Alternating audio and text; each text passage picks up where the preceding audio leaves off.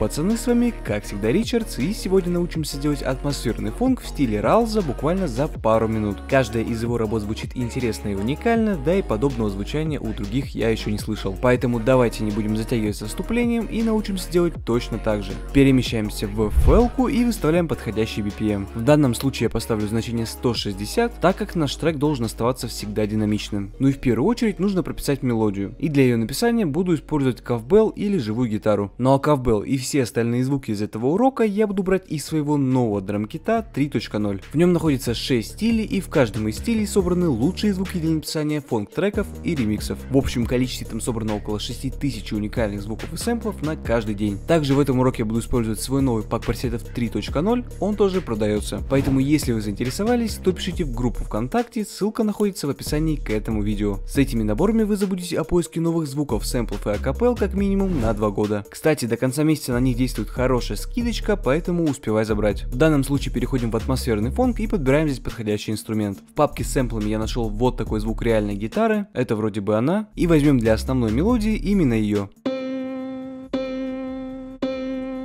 перекидываем ее в Channel Rack, заходим в нее, и здесь я ее немного поднастрою. Для начала сделаем ее чуток покороче, и для этого немного потяну SMP Start. Ну и в самом конце мне не нравится этот длинный хвостик, поэтому срежу его при помощи крутилки Out. По итогу получилось вот так.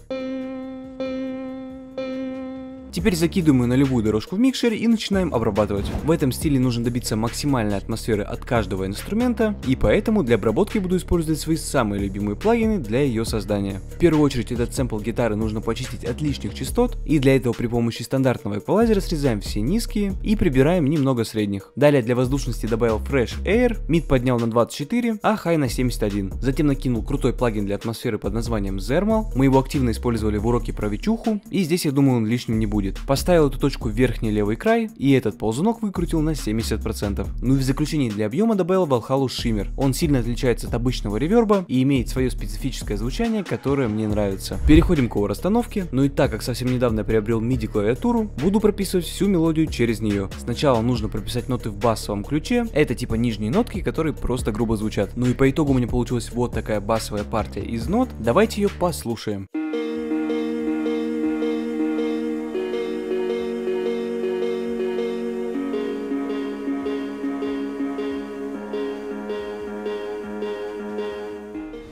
Ну а теперь после басового ключа прописываем всю остальную мелодию. Тут уже дело вкуса, поэтому экспериментируйте и подбирайте нотки на слух. По итогу у меня получилась вот такая партия. Здесь я дописал вот такую мелодию в форме горки. Далеко, конечно, до идеала, но звучит ярко и необычно.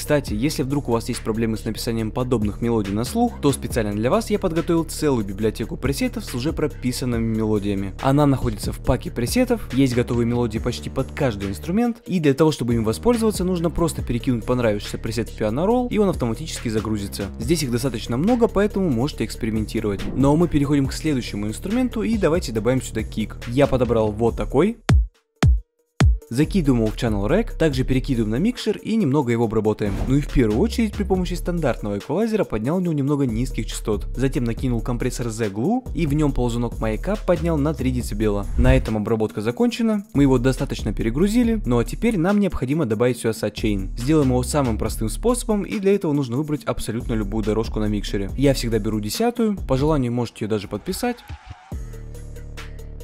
Теперь переходим на дорожки инструментов, на которые нужно сделать сачейн. Я буду делать его на все инструменты мелодии, и для этого отключаем дорожку с гитарой от мастера и подключаем к дорожке сачейном. После этого делаем автомейт вот на этот ползунок громкости. Пока что его трогать не будем, создадим для кика отдельный паттерн и выставим его на 8 квадратов. Начинаем расстановку кика и тут уже дело вкуса. Каждый слышит его по-своему.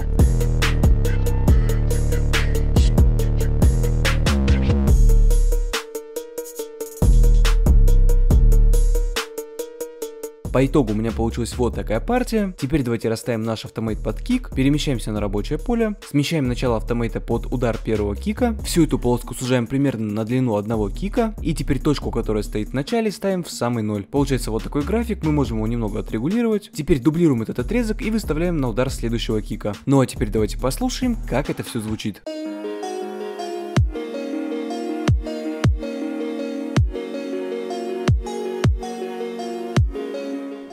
Кик получился достаточно мягким, приятным, все прям как мне и было нужно. Теперь добавим сюда снейр. Для его прописания буду использовать несколько штук, их мы залейрим и по итогу получится уникальное звучание одного снейра. Я подобрал вот такой и вот такой.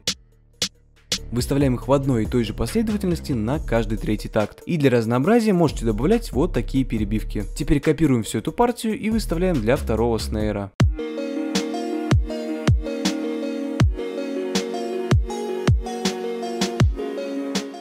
Как я и говорил, снейр получился плотненьким и атмосферным. Ну а теперь давайте сделаем наш трек немного динамичней, и для этого добавим сюда хай-хет. Я подобрал вот такой. Ставится он очень просто. Выставляем вот такую одну большую цельную ноту, выделяем ее и нажимаем комбинацию клавиш Alt плюс русская G. Появляется вот такой чоппер, в нем мы регулируем тайму на свой слух и нажимаем ОК. Ну а теперь вносим свои правки и экспериментируем на свой слух. По итогу у меня получилось как-то так.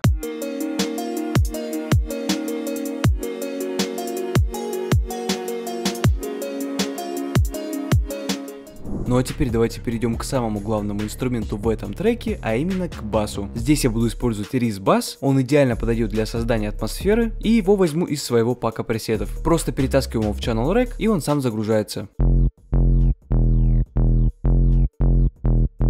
Звучит очень необычно и интересно. Перекидываем на любую дорожку в микшере и начинаем обработку. В процессе обработки нам его нужно хорошенько перегрузить и добавить приятное хрипение, как это делает Ралза. Ну и в первую очередь для обработки использовал обычный UTT, он его хорошенько поджал и сделал поприятней. Затем для мягкого перегруза добавился Camel Crusher с пресетом Bridge Client. Ну и в заключение все это дело закрепил Virtual Tape Machines, именно он придаст этого хрипения, которое нам нужно. Также не забываем подключить его к дорожке с сатчейном, чтобы он приглушался при каждом ударе кика. Переходим к его расстановке, и он расставляется очень просто по нотам мелодии, которую мы прописали ранее. Ориентируйтесь именно на нее. Ну и по итогу получился вот такой бас.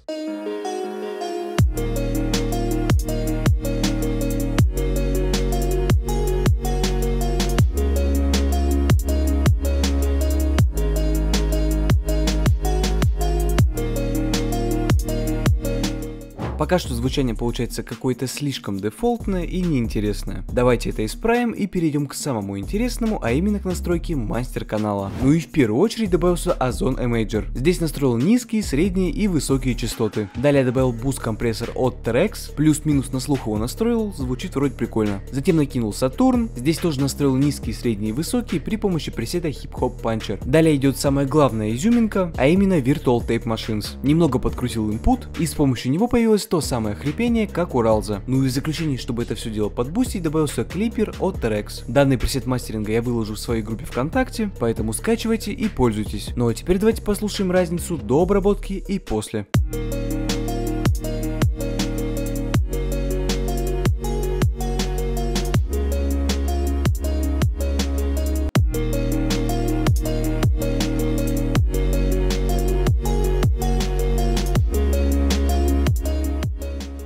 Я думаю, каждый понял на этом примере, насколько важна обработка мастер-канала. Ну а теперь мы переходим к заключительному этапу создания нашего трека, а именно к подборе Мемфиса капеллы. В моем паке собраны как длинные, так и короткие Мемфиса капеллы. Тут уже дело вкуса. Пока я подбирал капеллу, наткнулся на такую вокальную вставку, и она мне очень понравилась. Я думаю, здесь она будет очень круто и атмосферно звучать, поэтому давайте ее добавим, перекидываем ее на рабочее поле и при помощи стреча или вот этой стрелочки берем акапеллу за правый край и подгоняем под такт нашего проекта. Все это дело дублируем Теперь ее еще нужно подогнать под тональность нашего трека, чтобы не было никаких диссонансов. Для этого мы крутим крутилку pitch на свой слух и выставляем подходящее значение. В моем случае подходит минус 1 полутон, то есть минус 100. После всех этих манипуляций перекидываем ее на любую дорожку в микшере и начинаем обрабатывать. Ну и в первую очередь при помощи стандартного эквалайзера срезаем все низкие частоты. Они нам здесь не нужны. Теперь у меня появилось желание сделать хрипоту еще и на этот вокал, чтобы он звучал еще интересней. Ну и в заключение вместо обычного реверба накинулся Valhalla Shimmer. Микс выкрутил на 29. Давайте послушаем, как она вписалась в наш трек.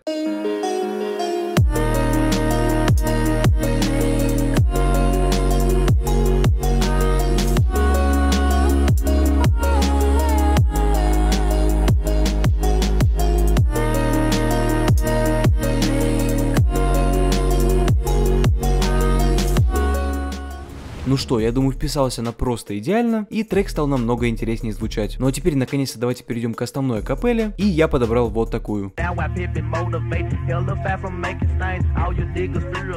Точно так же перекидываем ее на рабочее поле, и при необходимости подгоняем ее под темп нашего проекта. Выставим ее, наверное, во второй части дропа, чтобы трек звучал поинтереснее. Ну и конечно же это все дублируем.